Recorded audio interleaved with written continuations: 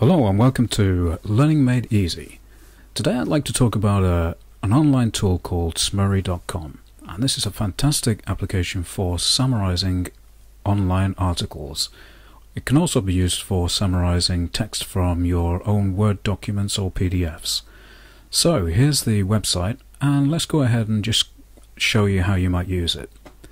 So if we look at um, a typical article here from Wikipedia, this is on uh, mosquito nets.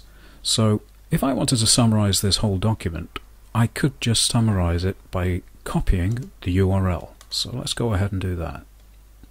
Copy that, go to our summarize tool here, and there are three input boxes. In this case, I'm going to use the lower right box here uh, and paste the URL, URL directly in here and click on the summarize button. And here we have seven sentences which summarizes that document. Now you can change the number of these sentences, so any number between 1 and 40. Let's go ahead and uh, just change it to 10. And you'll see that very quickly it updates uh, the list. And we've now got uh, 10 sentences. If you look down here at the bottom, you'll see that 10 sentences will give us a 90% reduction on the whole of that article. So that's one way of using it. Let's go back again here to the original article. So here, for instance, we've got a section on insecticide-treated nets. So I'm just going to summarize this section. So I'm going to select the top text, right-click and copy, and if I go back to the summarize tool, Instead of using the uh, URL to summarize it, I'm going to click in the, the main box here in the center, right click and paste it directly there.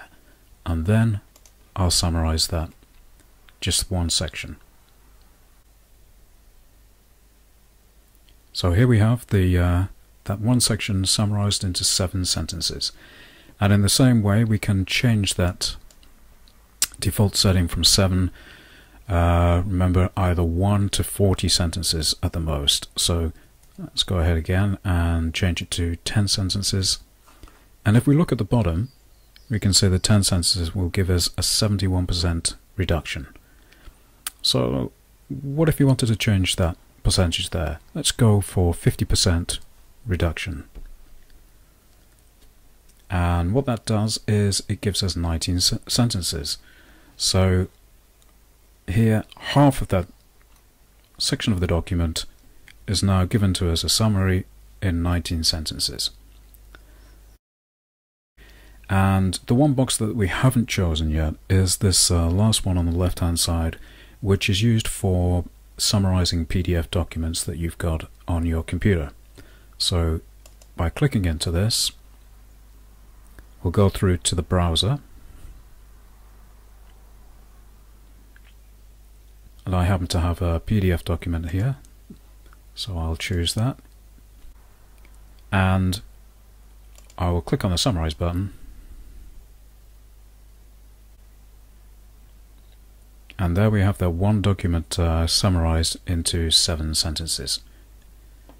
Looking at the bottom I can see that this uh, seven sentences has reduced this article PDF article to 97% that's quite a high percentage so if we wanted to just say 90% uh, of that PDF document, we can see that it's given us 34 sentences. So I think it's a, it's a great tool for, for use for saving you a lot of time. Once you've actually got the summary, you can simply cut and paste this into a Word document, or you can use Evernote. So here I've got my Evernote icon. If I click it, and here we have the uh, the article summarized for us and I could save that as a note to one of my notebooks.